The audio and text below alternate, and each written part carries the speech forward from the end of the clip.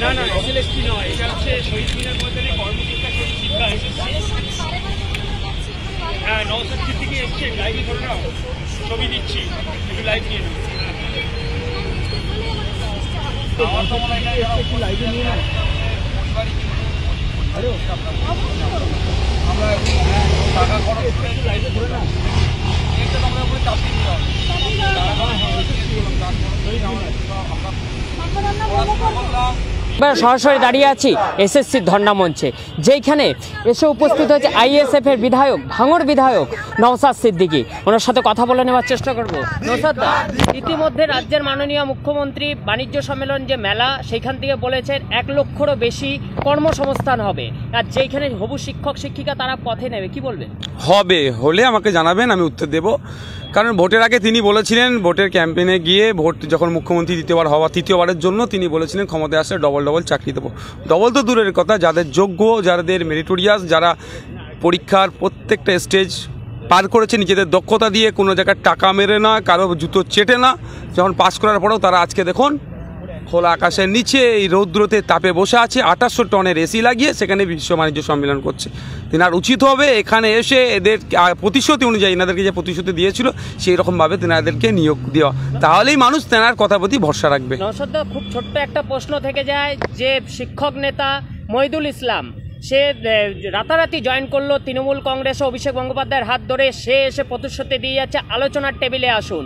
আর যখনই হবু শিক্ষক, শিক্ষিকা, আলোচনার টেবিলে কালীঘাটে থার্টিবি হরিশ চ্যাটার্জি লেনে মমতা বন্দ্যোপাধ্যায় বাড়িতে ডেপুটেশন জমা করতে গেল, সেখানে কালীঘাট থানার বড়বাবুর নেতৃত্বে সিভিক পুলিশ দিয়ে তাদেরকে অ্যারেস্ট করা হলো। শুধু তাই নয়, মহিলাদের যে অভিযোগ উঠে আসছে, গলা টিপে ধরা বলা হলো, আনিস খানের মতন অবস্থা করে দেবে। কেন এইটা শুনতে হচ্ছে বর্তমানে দেখুন, বর্তমানে পুলিশকে তো একদম দলদাসে পরিণত করে দিয়েছে। পুলিশের যে স্বতন্ত্রতা এখন হারিয়ে যাচ্ছে। কারণ হচ্ছে যে কোনো ইনসিডেন্ট ঘটছে, সেখানেই কিন্তু মানুষ দাবি করছে সিবিআই সিবিআই সিবিআই দেখুন, আমি চাই না আমার বেঙ্গল পুলিশ, ক্যালকাটা পুলিশের বদলাম হোক। ক্যালকাটা পুলিশ, বেঙ্গল পুলিশে যথেষ্ট সুনাম আছে, যাতে সুনাম বজায় রাখে, সেটা হচ্ছে এই পুলিশ কর্তাদের কর্তব্য, সে সুনাম রাখার। কারণ পুলিশে, পুলিশ ডিপার্টমেন্ট একটা স্বতন্ত্র ডিপার্টমেন্ট, তাকে নিজস্বতা নিয়ে চলা উচিত। বর্তমানে পুলিশ কিন্তু শাসক দলের দলদাসে পরিণত হয়ে যাওয়ার জন্য পুলিশ আছে ব্যর্থতা। পুলিশ এরকম করছে? আর আপনি যে থানার বড়বাবুর কথা বললেন, যদি অনুব্রত মণ্ডলকে কোনো সময় সিবিআই তুলে নিয়ে যায়, আমারও মনে হয়, দেখবেন তার কিছুদিনের মধ্যে কালীঘাটের বড়বাবুকে নিয়ে যাবে।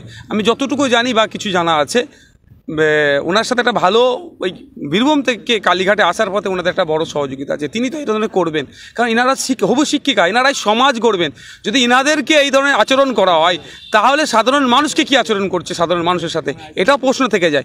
কারণ ইনারা হচ্ছে সমাজ গড়ার মূল কারিগর, সমাজের মেরুদণ্ড বলে মনে করি। শিক্ষক মহলকে, শিক্ষক সমাজকে। আচ্ছা শিক্ষক সমাজরা তাদের অধিকারের জন্য লড়াই নেমেছে, পথে বসেছে।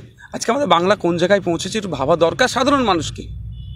একদমই পরিষ্কার ভাঙড় বিধায়ক নওসাদ সিদ্দিকী আইএসএফের নেতা নওসাদ সিদ্দিকী পরিষ্কারভাবে বুঝিয়ে দিলেন যে বর্তমান শাসক দলের সাথে পুলিশ দলদাসে পরিণত হয়েছে এবং আগামী দিনে সেটাকে কিন্তু বন্ধ করতে হবে এবং অবিলম্বে এসএসসির যারা পদপ্রার্থী ওনাদের নিয়োগ করতে হবে, সে ধর্ণামঞ্চে সরাসরি আইএসএফ নেতা যিনি এসে পৌঁছেছেন নওসাদ সিদ্দিকী। কলকাতা থেকে আপ্তাক রিপোর্ট, ক্যামেরা অভিমন্যুর সাথে Sumit. Admission going on in premium courses, computer courses, vocational courses, competitive courses and coaching classes in Institute of Professional Studies.